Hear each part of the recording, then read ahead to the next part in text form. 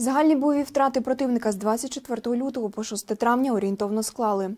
Особового складу близько 25 тисяч осіб ліквідовано, танків 1110 одиниць, бойових броньованих машин 2686, артилерійських систем 502, РСЗВ 171 одиниця, засоби ППО 83 одиниці, літаків 199, гелікоптерів 155, автомобільної техніки та автоцистерн 1926 одиниць, кораблі-катери 11, ВПЛА оперативно-тактичного рівня 324, крилаті ракети 90, спеціальна техніка 38.